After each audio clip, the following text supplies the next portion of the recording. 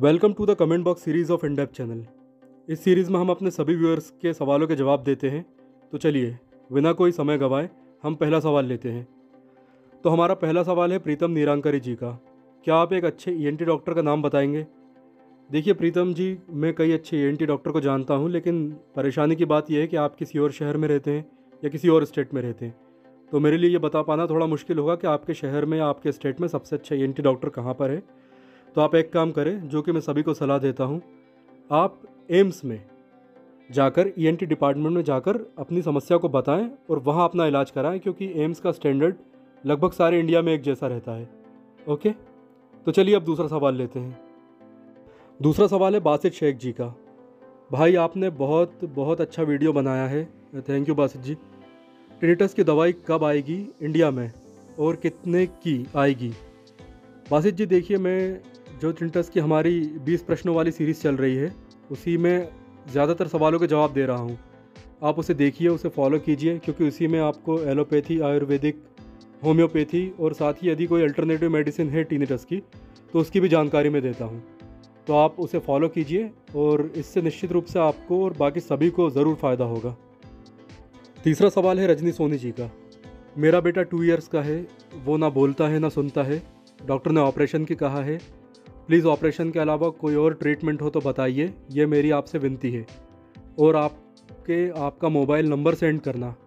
तो रजनी जी, आप मुझसे इंस्टाग्राम पर कांटेक्ट कर सकती हैं, जिसकी लिंक आपको किसी भी वीडियो के डिस्क्रिप्शन बॉक्स में मिल जाएगी।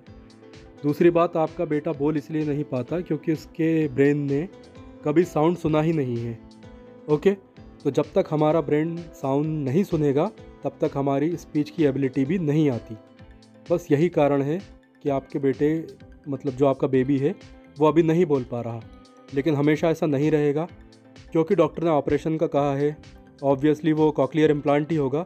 तो यदि आप उसे करवाते हैं तो धीरे धीरे धीरे वो साउंड को कैच करेगा साउंड को सुनेगा, और उसके बाद वो बोलने भी लगेगा। ठीक है? हो सकता है कि इसमें थोड़ा समय लग जाए, लेकिन आपका बेटा बोलने लगेगा, इसके लिए निश्चिंत रहिए। दूसरी बात जो आपने पूछी है कि क्या ऑपरेशन के अलावा और कोई ट्रीटमेंट है तो जी हाँ पीआरपी ट्रीटमेंट से कई लोगों का जो हेयरिंग लॉस है, उसका लेवल कम हो रहा है। लेकिन याद रखिए कि ये फिफ्टी फिफ्टी है। जैसा कि मैं उस वीडियो में बता चुका हूँ, आप इस पर हंड्रेड परसेंट डिपेंड नहीं हो सकते कि पीआरपी थेरेपी से आपका हंड्रेड परसेंट हेयरिंग लॉस है, वो क्योर हो जाएगा। इसलिए अभी जो डॉक्टर ने आपको सलाह दी है, वो बिल्कुल सलाह सही दी है। आप अगर ऑपरेशन करवा लेते हैं तो आपके बेटे की स्पीच नॉर्मल हो जाएगी। थोड़ा समय लगेगा, लेकिन निश्चिंत रहिए नॉर्मल हो जाएगी। फोर्थ क्वेश्चन आया है देवेंद्र पुरी जी का। इन्होंने लिखा है, मेरे कान की नसें कमज़ोर हो गई हैं, कोई मेडिसिन बताइए।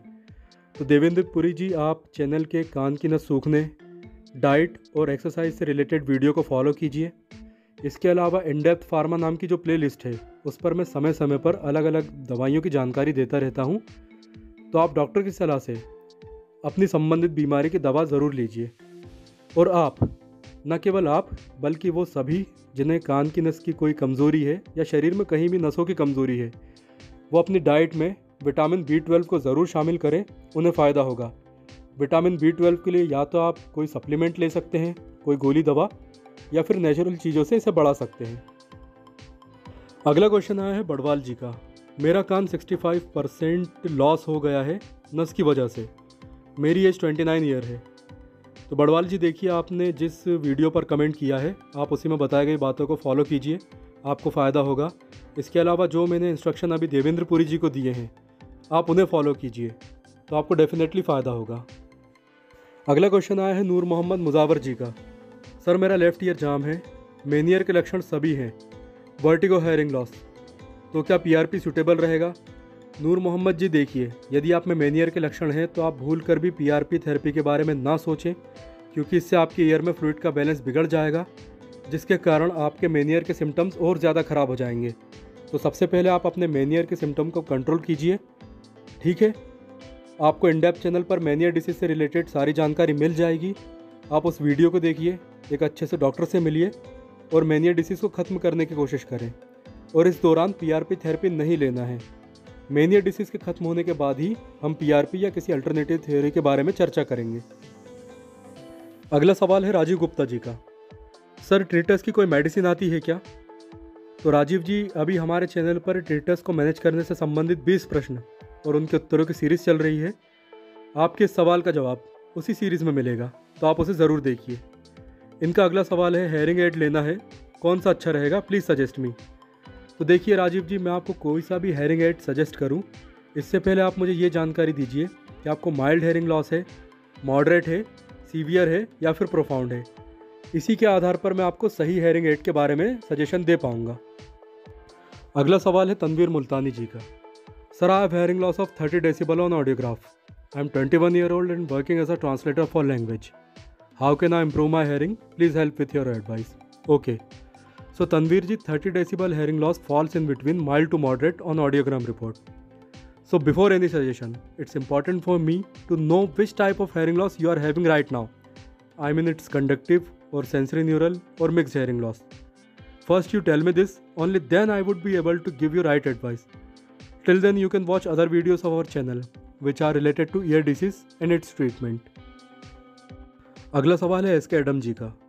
मेरे गले में एक गांठ है और उसके नीचे गांठ जैसी छोटी छोटी गांठ हुई है। इधर हाथ लगाओ तो खिसक जाती है। मेरा गला बहुत हार्ड हो गया है। मेडिसिन लेती हूँ लेकिन कम नहीं हो रहा है। उल्टा बढ़ गया है थोड़ा सा क्या करूँ प्लीज़ बताइए।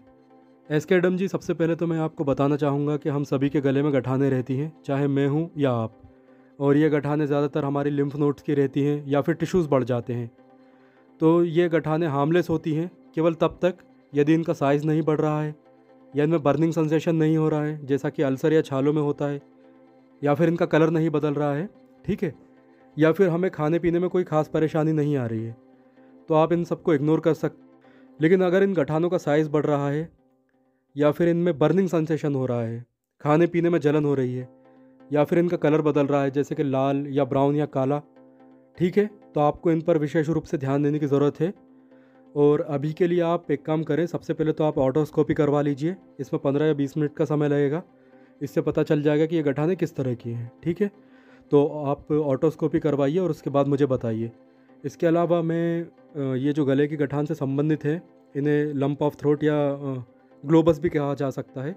इन पर एक पूरी वीडियो सीरीज़ जल्दी लाने वाला हूँ, उसे आप ज़रूर देखिए। इससे आपको और बाकी सभी को फ़ायदा होगा जिनके गले में गठाने हैं। अगला सवाल है राहुल कुमार जी का। सर जी, मेरा कान का ऑपरेशन हुआ है, फिर भी सीटी का आवाज़ आता है और दवा से ठीक हो सकता है। सर जी, रिप्लाई दीजिए, आपका वीडियो बहुत इंतज़ार करते हैं। तो सबसे पहले Rahul Kumar ji thank you so much क्योंकि आप मेरे वीडियो का इंतज़ार करते हैं।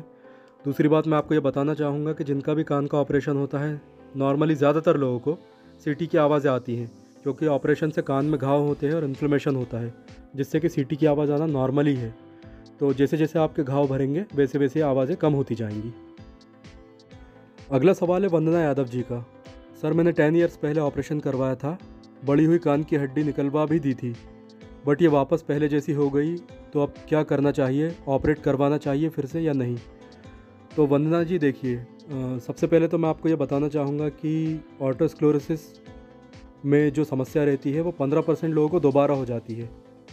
यानी पंद्रह परसेंट लोग जब ऑपरेशन करवा लेते हैं तो उनकी कान की हड्डी दोबारा बढ़ जाती है। दरअसल ये हड्डी नहीं रहती, ये कुछ और रहता है। वो आपको इस वीडियो में पता चल जाएगा, जिस पर आपने कमेंट किया है। तो इसमें दो कारण होते हैं। पहला तो ये कि कॉन्जेनिटल ऑटोस्क्लोरोसिस है तो बच्चे में जन्म से ही हड्डी या जो भी है वो घटती बढ़ती रहती है। ठीक है? और ऑपरेशन करवाने वालों को सबसे बड़ी दिक्कत ये आती है कि जो डॉक्टर ऑपरेशन करते हैं, वो ऑटोस्क्लोरोसिस को पूरी तरह नहीं निकालते। यानी कुछ हड्डी का या आप टिश्यूज़ का एक पार्ट कहिए, वो कान के अंदर ही छूट जाता है, जो कि दोबारा ग्रो कर जाता है तो उससे दिक्कत होती है। और इसके अलावा इसका एक मेजर रीज़न ये है कि ऑटोस्क्लोरोसिस के रोगियों में ज़्यादातर ये देखा गया है कि उनकी यूस्टिशियन ट्यूब भी ठीक तरह से काम नहीं करती। यानी वो ट्यूब जो हमारी नाक को कान से जोड़ती है तो जब यूस्टिशियन ट्यूब ठीक तरह से काम नहीं करती और यह बंद होती रहती है, खुलती रहती है तो कान का पर्दा रिट्रैक्ट होता है यानी पीछे की तरफ़ खिंचता है जिससे कि कान के पर्दे का कुछ भाग और वैक्स और फ्लूइड ये सब मिलकर एक गोला बना लेते हैं जिसे ऑटोस्क्लोरोसिस कहा जाता है। तो इसके लिए आप सबसे पहले तो डॉक्टर से मिलिए और अपनी यूस्टिशियन ट्यूब पर भी काम करिए। केवल कान पर नहीं आपको यूस्टिशियन ट्यूब पर भी काम करना है साइनस वगैरह ठीक रखना है तब जाकर ये आपकी समस्या का आ, मतलब राहत मिलेगी आपको इससे और ऑटोस्क्लोरोसिस बार बार लौट कर नहीं आएगा। ठीक है? तो आप तो पहले ये कर लीजिए, एक डॉक्टर से मिलकर अपनी यूस्टिशियन ट्यूब की फंक्शनिंग भी चेक करवा लीजिए। ये क्योंकि बहुत बड़ा कारण है। या सही मायने में कहा जाए तो सबसे ज़्यादा यही कारण होता है कि ऑटोस्क्लोरोसिस बार बार आ जाता है। इसके अलावा मैं जल्दी आपको यूस्टिशियन ट्यूब और अपने मिडिल ईयर यानी ऑटोस्क्लोरोसिस की समस्या पर एक डेडिकेट वीडियो बनाकर आपको दिखाऊँगा। उससे काफ़ी लोगों को समझ में आ जाएगा कि ये बार बार क्यों होता है। अगला सवाल है संतोष कुमार जी का। सर जी, मैं आज दिल्ली एम्स गया था। वहाँ पर ऑपरेशन की बजाय जी के द्वारा ट्यूमर को बर्न करने को कहा गया है। जी का क्या मतलब होता है, सर? और ये किस तरह किया जाता है? तो संतोष कुमार जी, देखिए, सबसे पहले तो ये एक नॉन इन्वेजिव ट्रीटमेंट मेथड है, जिसमें कि किसी तरह की चीरफाड़ या सर्जरी नहीं की जाती है। ट्यूमर को, किसी भी तरह का ट्यूमर हो, उसे नष्ट करने की अभी हमारे पास वर्तमान समय में तीन विधियाँ हैं। पहली है रेडियोथेरेपी जैसा कि कैंसर के रोगियों में होता है। आपने सुना होगा कीमोथेरेपी होती है दवाइयों वाली। और रेडियोथेरेपी में रेडिएशन द्वारा ट्यूमर को नष्ट किया जाता है। दूसरी है हमारे पास अल्ट्रासाउंड जिसमें साउंड की सहायता से ट्यूमर को ख़त्म किया जाता है। और तीसरी है लेज़र ट्रीटमेंट जिसमें कि लेज़र की सहायता से ट्यूमर को ख़त्म किया जाता है।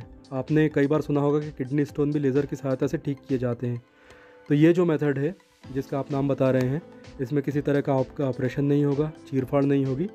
और इन तीन विधियों में से किसी एक द्वारा ट्यूमर को नष्ट कर दिया जाएगा। तो दोस्तों, हम यहाँ अपने कमेंट बॉक्स का दूसरा वीडियो समाप्त करते हैं। इस वीडियो में भी हमने ज़्यादा से ज़्यादा और इंपॉर्टेंट से इंपॉर्टेंट क्वेश्चन लेने की कोशिश की है। और जिन लोगों के क्वेश्चन इस वीडियो में शामिल नहीं हो पाए हैं, वो कृपया करके मुझे इस वीडियो के कमेंट बॉक्स में बता सकते हैं, ताकि अगले वीडियो में उनको शामिल किया जाए। और यदि आपको ये वीडियो पसंद आया है तो चैनल को सब्सक्राइब ज़रूर करें। तब तक अपना ख्याल रखिए and thanks for watching this video